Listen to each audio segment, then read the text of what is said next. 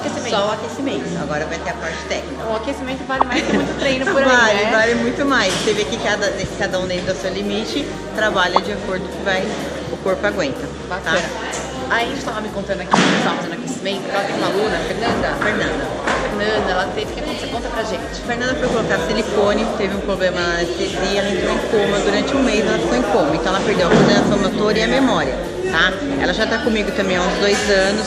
No começo era mais difícil ainda. Hoje ela já consegue acompanhar, você pode ver, no limite dela. Se eu der 100 abdominais, ela vai fazer a 100, mas dentro da limitação dela, tá? É isso que o Thai é. O Thai é pra todos. Cada um faz dentro da sua limitação, respeitando sempre o seu limite. Viu, gente? Isso é muito bacana, tá desenvolvendo, tá ajudando e ela tá super Tá? Tá de parabéns pro trabalho. Vamos continuar acompanhando a aula, que agora estão voltando pra parte técnica, Parte né? técnica. Vamos lá.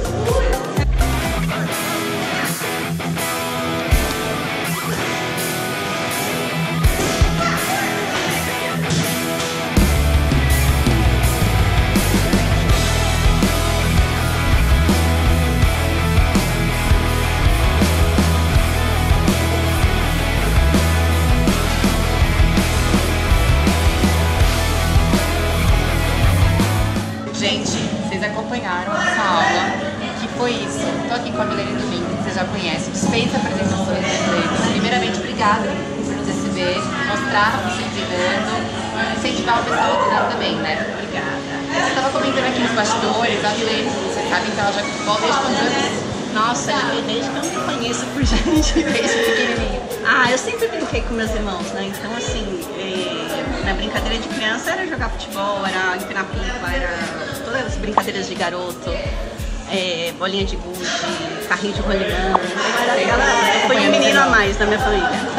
Então, o futebol sempre fez parte da minha vida. Agora, jogar assim no clube, é, não era profissional, mas tinha um time, eu acho que desde uns 10, 12 anos eu jogava futebol de salão. Mas o mais bacana é que você não parou o futebol até hoje, né? Desde novinha. Só que você já percorreu outras áreas, né? Saiu ficou dançando, agora tá craque no Muay Thai. O que mais? Conta pra Imagina. gente. Eu sou muito do esporte. Para mim, o esporte é, é saúde mental, não é física. O físico é uma consequência.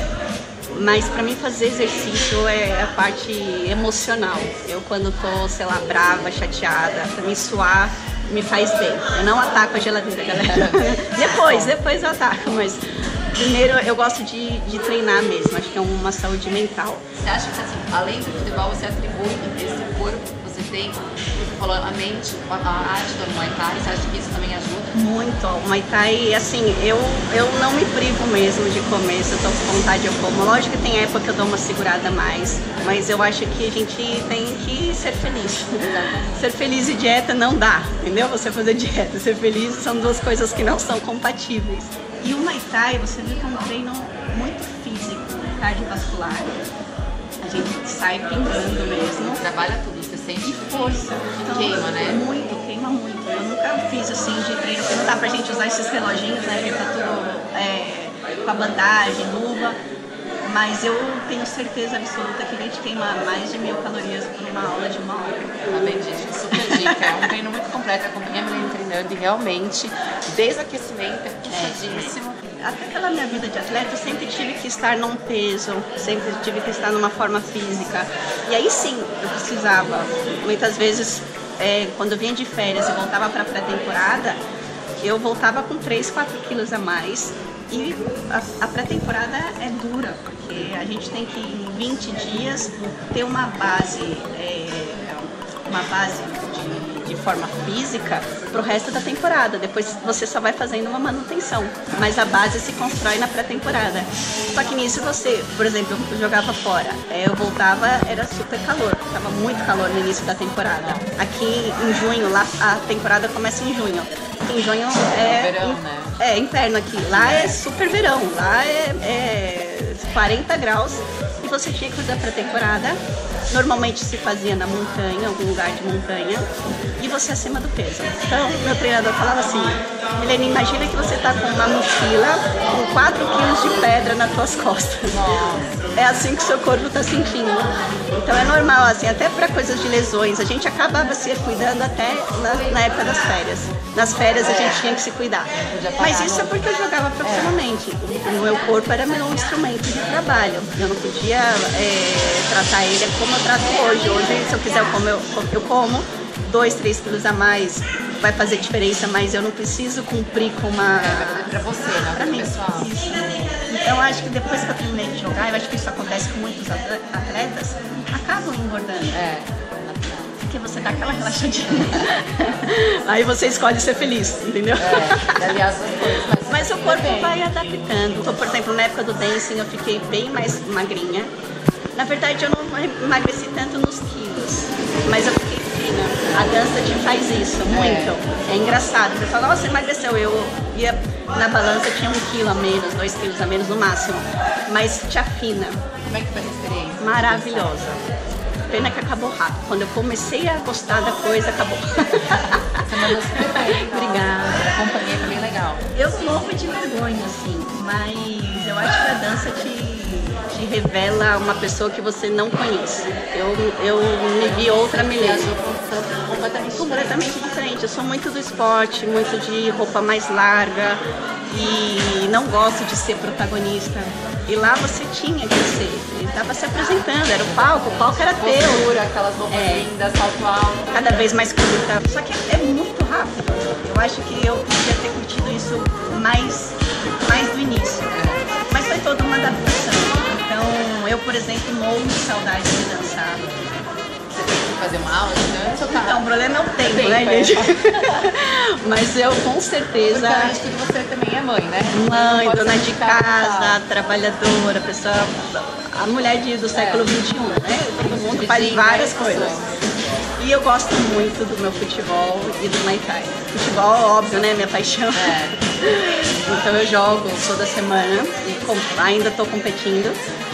E o Muay Thai que eu voltei, a gente acaba fazendo duas, três vezes na semana. Hoje eu já fiz três vezes essa semana. E a gente ainda tá na metade. A Milena não faz qualquer coisa assim, ah, vou fazer Muay Thai, não. A Angel, que é a professora de conta, já é graduada. Já, aqui, ó, já tô com meu franguinho aqui. Essa daí é a graduação que nível? Eu já sou o primeiro nível de instrutora. Olha só, tá vendo? É, cara. Ela fala, ah, eu vou treinar Muay Thai. Não, ela não tá só treinando, ela tá se dedicando então, você vai fazer, se propõe a fazer qualquer coisa, que você seja o melhor daquilo. E não competição com os outros, e sim com você mesmo. Gente, a Milene, ó, entrevista, assim, cada frase dela é pontuada para você levar vários conselhos.